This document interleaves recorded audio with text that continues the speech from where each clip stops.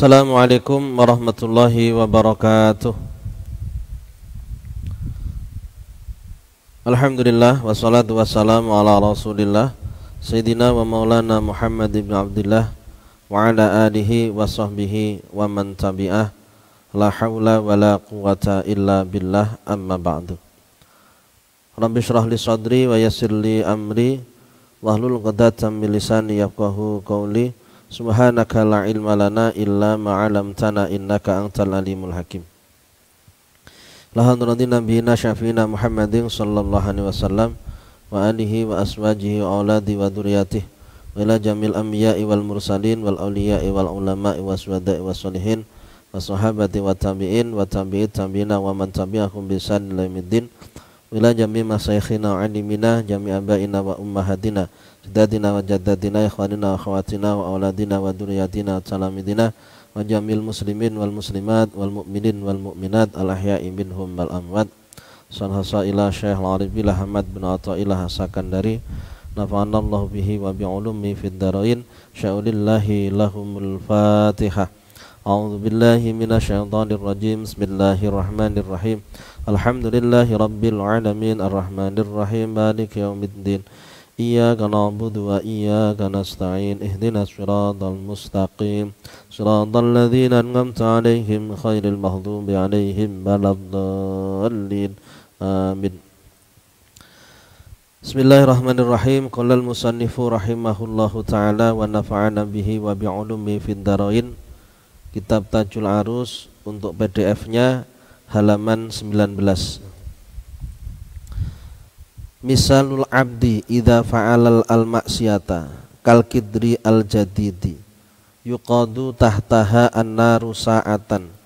Fayaswaddu fayas fatas wadda fa idza badarta ila hasliha in khasalat min dalikas sawadi. Wa in taraktaha wa tabahta fiha marratan ba'da marratin sabata as-sawadu fiha hatta tangkathira wala yufidu hasruha syai'an. Mithalul abdi idza fa'al masyiyah perumpamaan seorang hamba ketika berbuat maksiat. Jadi kita membayangkan diri kita sendiri yang berbuat maksiat. Dikala kita itu berbuat maksiat itu ibaratnya kal kidri al jadidi. Seperti eh, bahasa Jawanya kendil. Eh, seperti eh, alat untuk masak yang baru ya, seperti alat masak yang baru ya, e, seperti e, tempat untuk e, masak merebus e, merebus air atau merebus sayur dan lain sebagainya itu ya, pakai kendil ya, yang baru yukadu tahtaha anar saatan. Yang mana e, setiap hari itu dinyalakan api saatan ya, walaupun satu jam yukadu tahta anar saatan setiap hari eh, yuqadu tahta anar saatan. Pada setiap saat ya, saatan dalam mongso jadi setiap saat dinyalakan api. Jadi ketika memang dibutuhkan untuk merebus air atau merebus yang lainnya untuk memasak nasi maka e, dinyalakanlah api. Di bawahnya dinyalakan api ditaruh di atas kompor kemudian api dinyalakan. Apa yang terjadi? Dalam waktu yang lama ya fatas wadda maka jadilah hitam. Maka jadilah hitam. Yang asalnya baru warnanya putih mengkilat kemudian berubah menjadi hitam di saat setiap hari itu dinyalakan api di bawahnya. Setiap hari digunakan untuk masak. Digunakan untuk masak maka akan menjadi hitam. Apa yang terjadi? Faida batar tak? Apalagi masaknya pakai kayu masaknya pakai kayu cepat hitam Eh, alat-alat masak yang terbuat dari aluminium misalkan kalau e, digunakan untuk masak atau terbuat dari tanah kalau digunakan masak setiap hari pasti bagian yang bawah itu akan berwarna hitam. Tapi faida batarta ila hosliha in hosalat min dalikas sawadi. Andaikan kamu segera membersihkannya selain masak langsung dicuci. Setelah masak langsung dicuci. Dicuci di, di gosok-gosok ya, pakai e, jaring atau yang lainnya yo inho salat. Maka warna hitam itu akan menjadi hilang. Warna hitam akan menjadi hilang. Jadi seperti alat yang digunakan untuk masak, ketika setiap hari dipakai masak, dinyalakan api di bawahnya, pasti warna yang bagus ketika masih baru itu akan berubah, akan menjadi hitam. Akan menjadikan warna yang berbeda pada bagian bawahnya alat yang digunakan untuk masak tadi. Namun jika disucikan, dicuci maksud saya ketika dicuci setiap selesai masak dicuci, selesai masak dicuci, maka warna hitam itu akan berubah menjadi bersih lagi, akan seperti baru lagi. Tapi kalau dibiarkan wa in taraktaha wa tobahta fiha marratan ba'da marratin yusabata as-sawadu fiha kata tangkasira. Jika kamu biarkan setelah masak kamu taruh. Selesai masak kamu taruh. Tidak langsung kamu bersihkan. Tidak langsung dicuci setelah masak. Ya, karena orangnya malas. Jadi untuk me, me, e, me, membersihkan ya, alat-alat masak itu tidak semua orang mau e, untuk mencuci alat-alat masak itu tidak semua orang mau ya. kadang malas sudah capek masak sehingga untuk membersihkannya e, butuh waktu lain. Dicari waktu yang lain baru mau membersihkan. Kalau yang dilakukan seperti itu ya, tidak segera dicuci tidak segera dibersihkan dibiarkan begitu saja setiap hari digunakan untuk memasak maka warna hitam itu tidak akan bisa hilang warna hitam itu akan melekat kuat sehingga e, sampai kapan pun tidak akan bisa hilang. E, kata tangkasiro sampai pecah artinya sampai rusak tidak akan bisa hilang. Kalau sudah melekat kalau sudah melekat. Wala yufidu sayan maka tidak akan berpengaruh sama sekali dicuci seperti apa pun karena sudah melekat Berbeda dengan alat tersebut ketika setiap kali memasak, selesai masak langsung dicuci. Selesai masak langsung dibersihkan. Maka tidak akan ada warna hitam yang melekat. Pasti akan kembali kembali seperti baru, kembali seperti baru, gitu, terus seperti itu. Ini ibarat seperti tobat terhadap dosa yang kita kerjakan. Jadi Ibnu Athaillah memberikan perumpamaan antara tobat dengan e, kegiatan mencuci alat-alat masak setelah alat masak itu dipakai. Kalau alat-alat masak itu e, yang khususnya dipanaskan dengan api itu setelah selesai langsung dibersihkan, setelah selesai dicuci, ya, digosok-gosok pakai alat penggosok, maka tidak akan menjadi kotor, tetap akan e, menjadi e, tetap akan bisa menjadi e, bersih seperti baru. Sebagaimana e, dosa kita juga demikian. Di saat setelah berbuat dosa, segera bertobat kepada Allah. Segera bertobat pada Allah. Insya Allah akan terus bersih hati kita, tidak ada kotoran yang menempel dalam hati kita. Sama dengan tidak ada kotoran yang menempel pada alat-alat masak yang kita pakai. Ini penting harus kita fahami karena kita ingin selamat di dunia dan selamat di akhirat. Agar kita bisa mencapai keselamatan dunia dan akhirat tentunya kita harus membersihkan hati kita membersihkan diri kita dari segala dosa yang pernah kita kerjakan. Kesempatan dalam hidup e, diberikan Allah pada kita ya, segala kesempatan untuk bertobat diberikan Allah pada kita namun tidak selamanya kesempatan akan kita dapatkan suatu saat nanti kesempatan akan hilang sebelum kesempatan ini hilang harus segera kita manfaatkan bertobat atas segala dosa yang kita lakukan. Yang disampaikan Ibnu Athaillah Sakandari, fattaubatu hiya allati tahsilu sawadal qalbi. Fatab ruza al a'mal wa alayka raihatul raihatul qabul. Tobat itu yang membersihkan hitamnya hati yang disebabkan oleh dosa. Tobat itu yang eh, yang membersihkan hitamnya hati. Hati hati yang kotor itu ibarat seperti alat masak yang dipanaskan di atas api, yang dipanaskan di atas kompor yang me, menjadikan kotor bagian bawahnya eh, hati yang eh, kotor itu bisa dibersihkan. Pembersihnya adalah tobat Nah, untuk membersihkannya caranya adalah bertobat dengan kepada Allah Subhanahu wa taala. Kalau sudah bertobat pada Allah atau bahan nadam ya, tobat itu adalah menyesal menyesal menyesal uh, uh, tidak uh, mengulangi lagi berjanji tidak akan mengulangi lagi menggantikan apa yang pernah kita tinggalkan dari kewajiban-kewajiban yang pernah kita tinggalkan kita berusaha untuk e, menggantikannya nggih. E, kalau banyak nggih dicicil nggih sedikit demi sedikit salat-salat yang pernah ditinggalkan dikodok nggih yang ditinggalkan dengan sengaja yang ditinggalkan karena lupa nggih kemudian puasa-puasanya juga demikian kita kodok nah, karena beratnya mengkodok itu tidak ada apa-apanya dibandingkan dengan beratnya apabila tidak kita kodok kemudian Allah meminta pertanggungjawaban kita di hadapannya atau memberikan azab kepada kita. Ya, kita khawatirnya seperti itu. Setelah ditobati hati menjadi bersih fata berusaha fata berusaha al amal maka amal itu akan kembali bisa dilakukan secara mudah.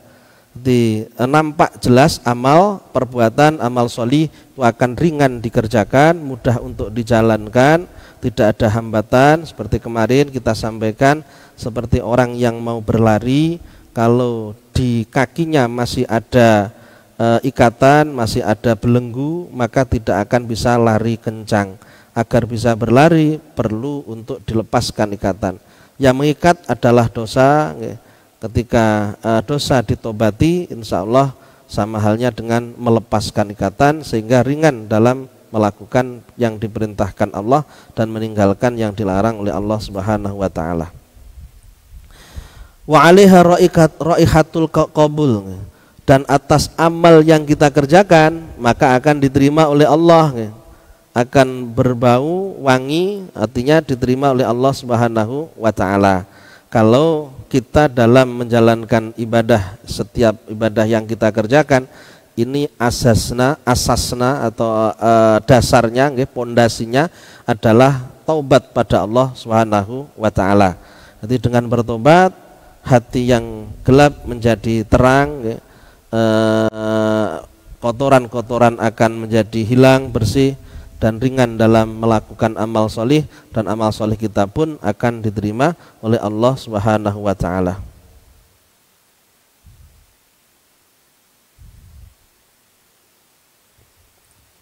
Bismillahirrahmanirrahim. Fadlub minallah ta'ala at-taubata daiman. Fadlub minallah at-taubata daiman. Oleh sebab itu dawuhnya Ibnu Athaillah Sakandari mintalah e, mintalah e, tobat kepada Allah selamanya. Artinya mintalah kepada Allah agar Allah membukakan hati kita untuk bisa bertobat terhadap dosa-dosa yang kita lakukan. Karena tidak mungkin kita bisa menjalankan tobat kepada Allah tanpa adanya pertolongan yang diberikan Allah kepada kita. Jadi memohon pada Allah, ya, mohon pertolongan pada Allah agar kita menjadi orang yang dibukakan hati kita untuk menyadari setiap kesalahan yang kita lakukan sehingga kita bertobat kepada Allah. Fatlub minallah atau bata daiman. Mintalah kepada Allah agar Allah memberikan kita tobat atau menggerakkan kita untuk bertobat kepadanya sekaligus menerima tobat-tobat yang kita lakukan fa in dofarta biha faqat toba waktuka. Fa in biha faqat toba waktuka. Jika kamu e, meraihnya mampu meraihnya kita bisa bertobat pada Allah hati kita digerakkan untuk bertobat pada Allah menyesal dengan dosa yang pernah kita lakukan dan berjanji tidak akan mengulanginya lagi maka fakot toba waktuka. Maka waktumu benar-benar bermanfaat, bagus waktumu, benar-benar bermanfaat. Jadi waktu yang diberikan Allah pada kita, kesempatan yang diberikan Allah pada kita benar-benar bisa kita manfaatkan di saat kita gunakan untuk bertobat pada Allah Subhanahu wa taala. Li'annaha muhibatun minallah yadha'uha kaitsu sya'a min ibadih. Dikarenakan tobat itu merupakan pemberian dari Allah, lalu pemberian dari Allah bukan kemampuan kita. Jadi la haula wala quwata illa billahil alil azim menjadi hal yang pokok yang harus kita uh, tanamkan dalam hati kita. Tidak ada kemampuan, tidak ada kekuatan kecuali adanya Allah yang memberikan. Semua yang kita lakukan semata-mata adanya Allah yang memberikan pertolongan ya. amal solih ibadah yang kita kerjakan karena Allah memberikan pertolongannya kepada kita ketahuilah li annaha muhibatun minallah orang bisa tobat itu dikarenakan orang tersebut mendapatkan pemberian dari Allah pemberian dari Allah jadi kalau Allah tidak memilih orang itu untuk bertobat maka walaupun sudah sakit ya Naudzubillah min dalik. Sudah sakit-sakitnya parah mendekati kematian itu tidak menyadari atas dosa yang dilakukan sehingga tidak bertobat pada Allah. Di hatinya yang terlintas hanyalah bagaimana dia bisa sembuh dari sakitnya, sembuh dari sakitnya. Ya, tidak melihat, oh saya nanti kalau mati, bagaimana dosa-dosa yang pernah saya lakukan. Tidak berpikir ke sana. Yang dipikirkan hanyalah kesembuhan dari sakit, e, seolah-olah dia tidak akan mati. Padahal ada dua kemungkinan, antara sembuh atau tidak bisa sembuh, sehingga dia harus berpulang menghadap pada Allah Subhanahu Wa Taala. Karena Allah tidak membukakan hatinya, dia tidak mau bertobat pada Allah. Hingga dosanya tidak akan mendapatkan ampunan dari Allah. Apalagi e, kalau dia meninggal dalam keadaan su'ul khatimah. Nauzubillah min dzalik. Jadi selama kita masih punya kesempatan untuk bertobat, maka kita harus bertobat pada Allah. Yakbalullah yakbalullahu taubatal abdi malam yurarir. Allah menerima tobatnya seorang hamba selama ruh belum berada di tenggorokan. Selama kita belum nazak sakaratul maut, tobat akan diterima oleh Allah.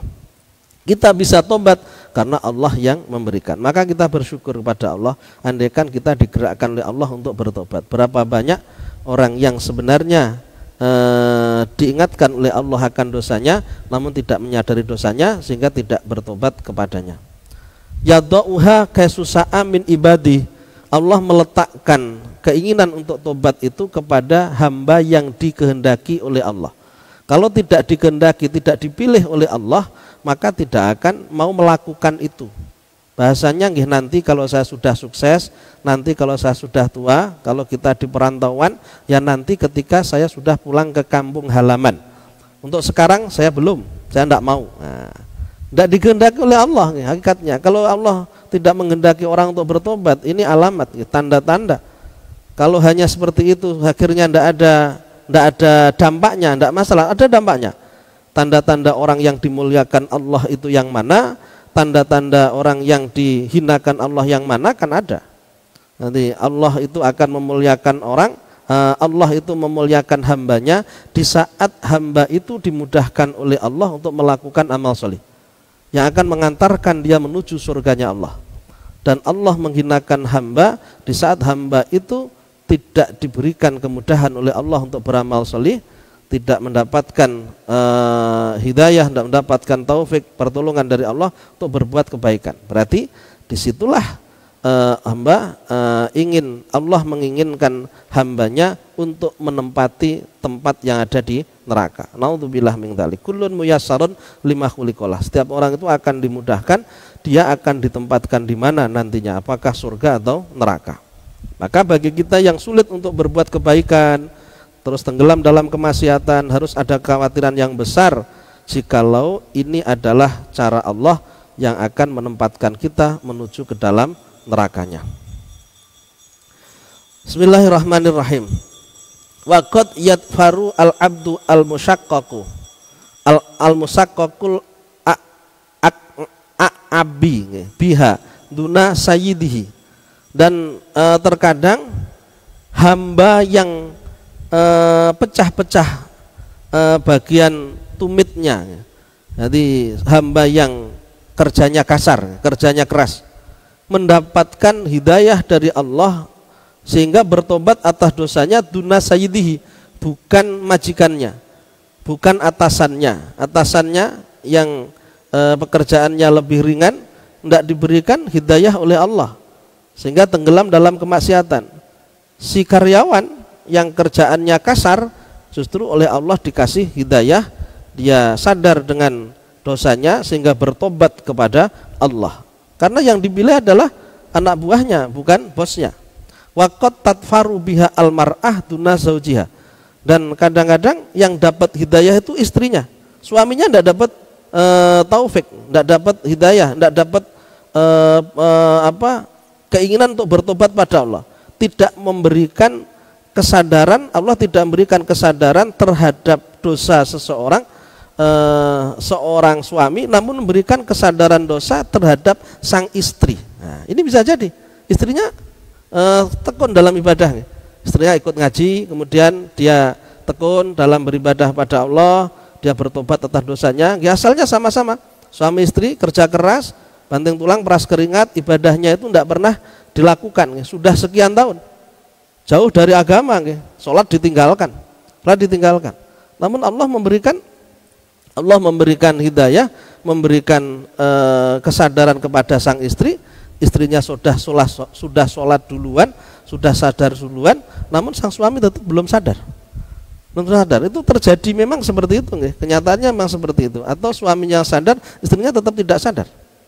Wasab dunasyeh dan yang muda itu merasakan e, menyadari tentang dosa yang dilakukan sehingga bertobat kepada Allah. Dan orang yang tua yang seharusnya berpikirnya lebih jauh. Karena namanya orang tua itu kan sudah banyak makan asam garam ya. Ya, sudah banyak punya pengalaman hidup lah. Punya pengalaman hidup. Seharusnya dia lebih tahu bahwa dia itu harus bertobat atas dosanya eh, sehingga dia nanti bisa selamat di akhirat. Seharusnya berpikirnya seperti itu. Yang tua tidak berpikir ke sana, namun ternyata yang muda oleh Allah ditumbuhkan pemikiran pentingnya bertobat atas dosa. Karena yang muda itu yang dipilih oleh Allah, yang tua itu yang tidak dipilih oleh Allah. Itu semuanya adalah pemberian Allah. Maka bersyukurlah, bersyukur, bersyukur. Kita bersyukur pada Allah. Di saat kita menjadi orang-orang yang di lembutkan hati kita, disadarkan hati kita untuk bertobat atas dosa-dosa yang pernah kita lakukan, kemudian kita memperbaikinya, kita tinggalkan segala perbuatan maksiat, kemudian kita melakukan apa yang diperintahkan Allah, meninggalkan yang dilarang, dan sewaktu-waktu kita menghadap pada Allah, kita lepas dari segala dosa, hanya amal solih yang kita bawa, yang akhirnya nanti kita selamat mendapatkan surganya Allah Subhanahu wa taala. Kita bersyukur, bersyukur. Tidak semua orang, tidak semua orang. Kenyataannya memang demikian. Fa in biha faqad ahabbakallah. Apabila kamu bisa bertobat pada Allah, mendapatkan kesempatan untuk bertobat, digerakkan oleh Allah untuk bertobat, bahasa nopo terserah digerakkan oleh Allah untuk bertobat, ada kemauan untuk bertobat kepadanya. Fakot ahabbakallah. Maka sungguh Allah telah mencintaimu. Sungguh Allah telah mencintaimu. Dawahnya Ibnu Athaillah Sakandari, jika kamu itu digerakkan oleh Allah untuk bertobat kepadanya, menyadari atas dosanya, berarti Allah telah mencintaimu.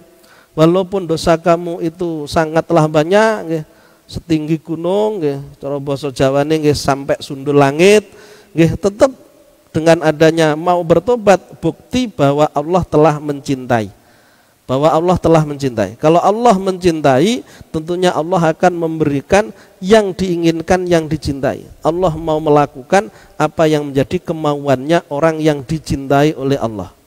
Firman Allah, "Innallaha yuhibbut tawwabina wa yuhibbul mutatahhirin." Sesungguhnya Allah cinta kepada orang-orang yang banyak bertobat kepadanya. Ya. Tawabin, tawabin bukan taibin bahasanya. Tawabin. Ya. Jadi tawabin bukan taibin, tawabin namanya sehat uh, mubalaghah ya. Akeh-akeh tobati.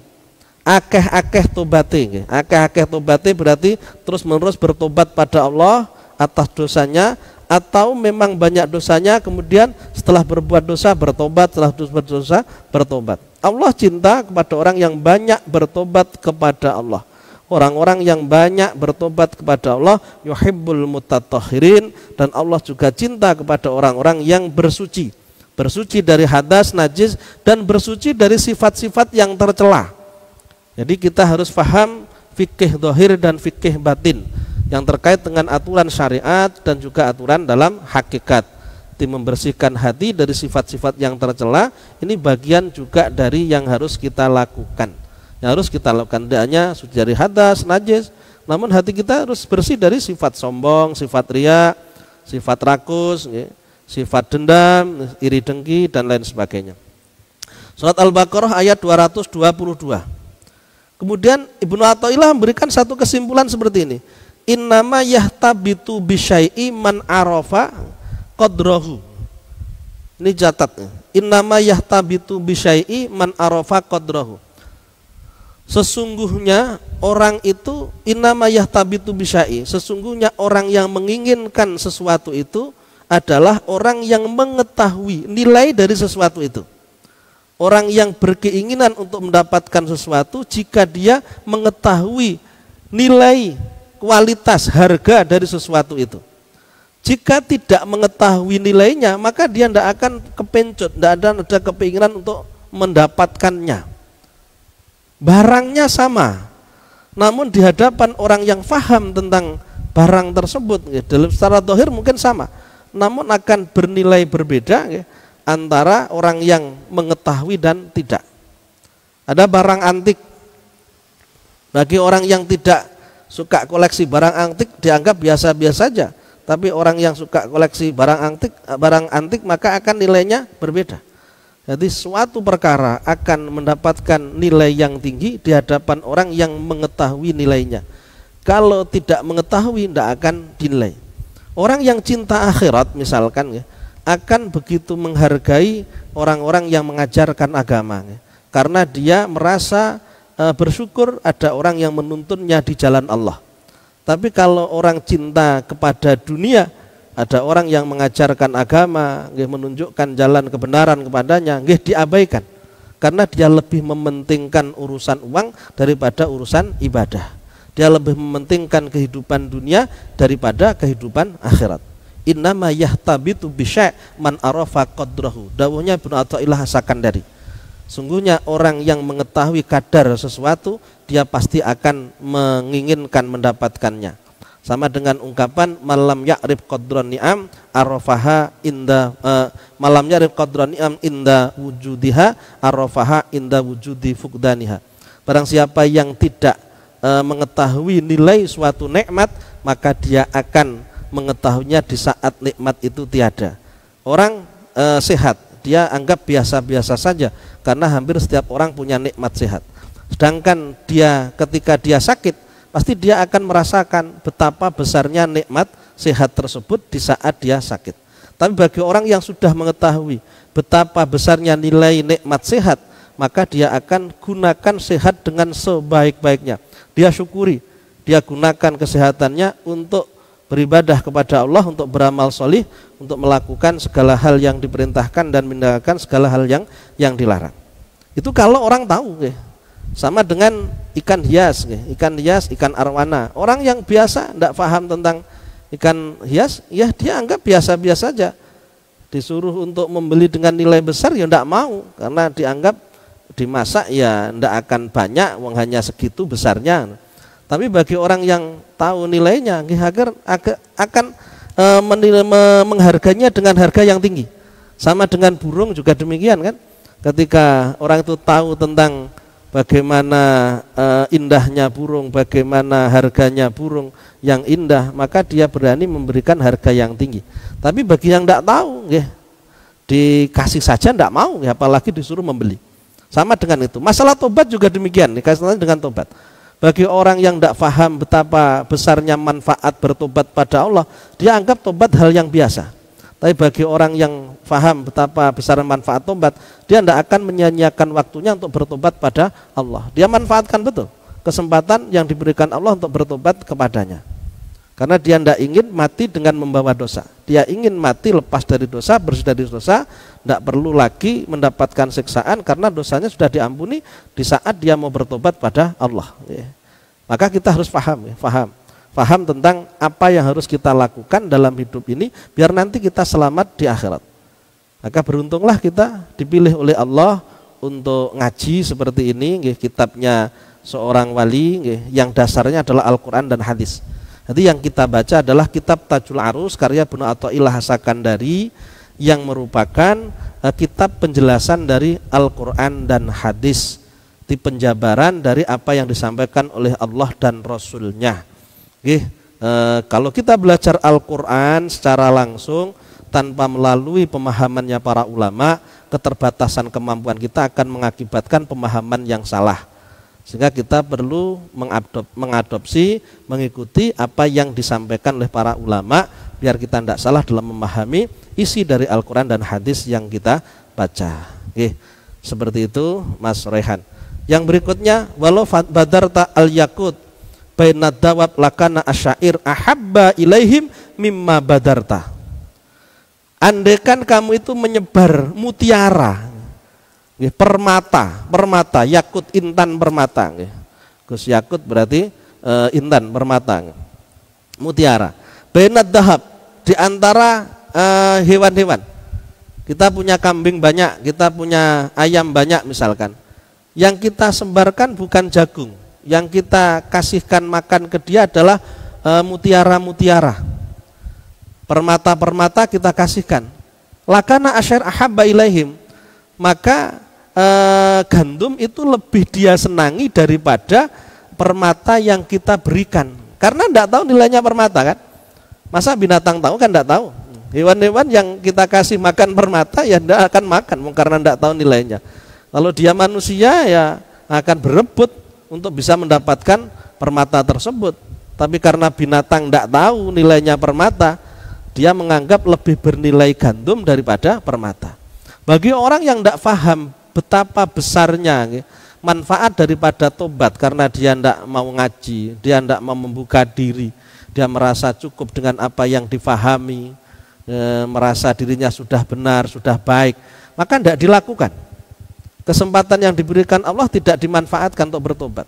Padahal dengan bertobat, taubatan nasuha, Allah akan memberikan ampunan, Allah akan menggantikan kesulitan dengan kemudahan karena pada dasarnya kesulitan yang kita alami sebab atau dampak dari dosa yang kita lakukan ma'asobaka min musibatin ila min dambin wala yarfa'uha illa bitaubatin tidaklah musibah mengenai kamu kata Nabi kecuali karena dosa yang kamu lakukan dan tidak akan diangkat musibah tersebut kecuali dengan bertobat atas dosa itu. Dalam Al-Qur'an juga Allah sampaikan masobakum min musibatin fabima kasabat aidikum e, musibah yang menimpa kalian sebab e, dosa yang kalian lakukan. Wa ya'fu kathir kan ngoten. Eh, dan Allah mengampuni banyak dosa ya. andaikan eh, dosa-dosa itu banyak yang tidak diampuni oleh Allah ya semakin parah kondisi kita semakin banyak kesulitan yang kita hadapi. Untungnya hanya sebagian saja yang dipersoalkan oleh Allah sehingga diberikan balasan berupa musibah dan solusinya adalah kita bertobat kepada Allah atas dosa-dosa tersebut biar kesulitan digantikan dengan kemudahan e, hal yang berat digantikan dengan ringan ya.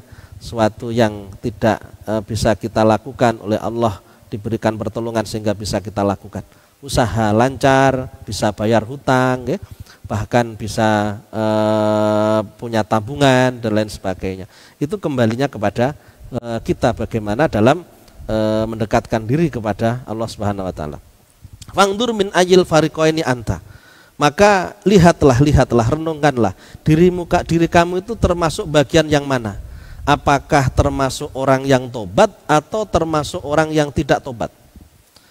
Termasuk orang yang mengenal nilainya sesuatu atau tidak mengenal nilai sesuatu? Orang yang faham manfaatnya tobat atau orang yang tidak faham manfaatnya tobat? Ini urusannya tidak hanya akhirat ya. Urusannya juga urusan dunia.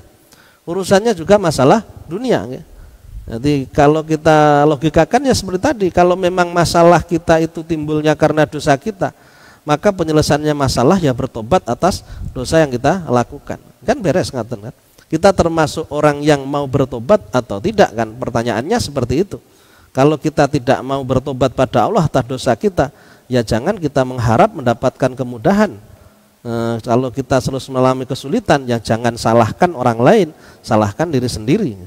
Kita sama halnya dengan e, binatang yang dikasih makan mutiara yang tidak mau makan padahal nilainya sangat tinggi lebih suka makan gandum karena yang dia tahu gandum yang lebih bernilai daripada mutiara. Ilam tatub, ilam tu intubta, intubta fa anta minal mahbubin, ma ilam tatub fa anta minal dolimin. Jika kamu itu bertobat pada Allah, maka kamu termasuk golongan orang-orang yang dicintai oleh Allah. Jelas kan ya. Ibnu Athaillah menjelaskan betul innallaha yuhibbut tawwabin yuhibbul mutatahhirin dengan panjang lebar ya. jika kamu bertobat kepada Allah maka kamu itu termasuk golongan orang yang dicintai oleh Allah. Kita inginnya dicintai apa tidak dicintai? Wa ilam tatub fa anta minad dolimin jika kamu tidak bertobat pada Allah maka kamu termasuk golongan orang-orang yang dolim kita ingin menjadi orang yang dicintai Allah atau orang yang berbuat dolim dengan bertobat kita menjadi bagian orang yang dicintai oleh Allah. Kalau sudah cinta, sudah cinta itu namanya cinta, pasti memberikan yang terbaik kepada yang dicintai. Bukan sekedar cintanya Allah, tapi bukti nyata dalam e, bukti atau bentuk dari cinta itu ada wujud. Bentuk dari cinta itu wujud. Ada, bukan hanya sekedar mengatakan cinta, tidak ada e, reaksi sama sekali tidak. Kalau Allah sudah mengatakan cinta, berarti Allah itu pasti akan memberikan yang terbaik. E, anak cucu kita oleh Allah akan dijaga, dimudahkan segala urusannya, akan mendapatkan kemudahan dalam hidup. Karena orang tuanya senantiasa mau mendekatkan diri kepada Allah, termasuk di antaranya mau bertobat pada Allah. Maka kita harus berpikir apa yang kita lakukan ini kita lihat dampaknya tidak hanya kepada kita sendiri, namun juga kepada anak cucu kita nantinya. Kita ingin menjadikan anak cucu kita bahagia hidupnya. Maka itu terjadi jika kita memang benar-benar melakukan pendekatan pada Allah, atau melakukan apa pun yang diperintahkan Allah dan meninggalkan yang dilarang. Jika kamu orang yang bertobat pada Allah, maka kamu termasuk orang yang dicintai oleh Allah. Jika tidak bertobat, maka kamu termasuk orang yang dolim. Ayat Al-Quran, surat Al-Hujurat ayat 11. Buka Al-Quran. Allah Ta'ala, Allah Ta'ala berfirman, wa malam yatub faulaika humud. Niki lho. Wa malam yatub faulaika humud zalimun. Wa man utai sapane wong kulam yatub ora gelem tobat sapa man faulaika mongko te mengkono-mengkono man hum yo ulaik ikwal dolimuna wong kang dolim-dolim kabeh. Dolim kepada siapa? Kepada diri sendiri. Jika tidak mau bertobat, maka dia orang yang mendolimi dirinya, yang membuat dirinya rugi besar. Orang yang akalnya sehat pasti tidak ingin mendapatkan kerugian bagi dirinya sayangnya dia tidak ingin rugi namun melakukan perbuatan yang merugikan. Inginnya hidupnya bahagia, dimudahkan urusannya oleh Allah, namun tidak mau bertobat pada Allah. Berarti inginnya tidak rugi, tapi tidak melakukan perbuatan yang membuat dia tidak rugi. Sama halnya inginnya dia kaya, namun dia tidak mau bekerja. Inginnya Allah memberikan pertolongan kepadanya, dia tidak mau bertobat pada Allah tetap dalam kemaksiatannya. Nah, makanya tidak akan bisa tercapai. Jadi orang yang bertobat akan dicintai oleh Allah, orang yang tidak bertobat sama halnya dia telah membuat berbuat dolim terhadap dirinya sendiri. Tidak ada yang didolimi kecuali dirinya. Allah tidak pernah dirugikan jika orang tidak mau taat pada Allah dan melakukan perbuatan maksiat, tidak akan rugi. Maka man tabal dhafara wa man lam yatub khasar atau khasira. Man taba man taba wa man lam yatub khasira. Mantaba barang siapa yang tobat ya, mantap ya, mantap ya, cantiku mantap ya. Mantaba dofaro. Barang siapa yang bertobat pada Allah, maka dia akan beruntung. Dofaro. Sebaliknya wa malam yatub khosar atau khosira. Malam yatub khasira. Barang siapa yang tidak mau bertobat maka dia rugi. Oke, jelas. Atau ilah jelas nggih, jelas, jelas, jelas. Kita tinggal mempraktekkan saja nggih. Eh, barang siapa yang tobat dia adalah akan meraih atau akan beruntung dofaro dan barang siapa yang tidak bertobat maka dia akan merugi. Dirinya sendirinya akan rugi, bukan yang lain yang dirugikan, diri sendiri. Wala takto uh, ya sakang